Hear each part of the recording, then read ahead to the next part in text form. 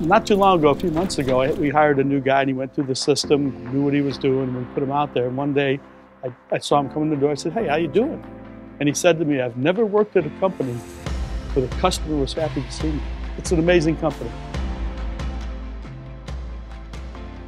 The Bill Howe strategy, I think a fundamental is the culture of the company. They are Bill Howe when they're stood in front of that customer. So therefore, it's our duty as owners to make sure that um, they have all that's needed to be successful. So we want to ensure that they have a footprint within our company and that they can see it.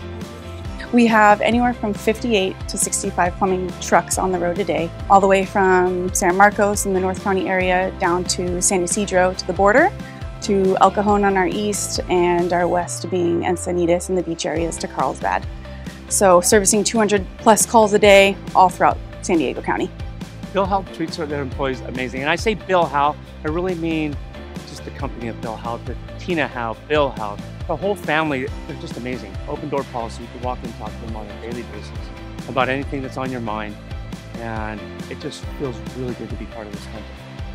Um, when a customer calls Bill Howe, we want to make sure that that experience that our technicians provide is the best that it possibly can be, that we gain their trust, that we show that we respect their property, that we give them an honest, fair price. And we want that customer to know that whatever their needs should be, if it's plumbing, heating and air, restoration and flood, we're there for them.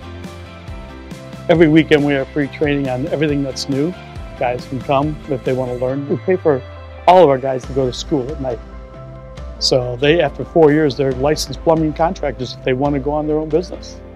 But 99% of them all want to stay. So we're very fortunate.